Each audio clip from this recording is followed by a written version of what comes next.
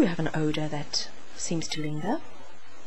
Do your friends tell you they smell fish? Are flies swarming around you? I think you might need Twinkle Twat.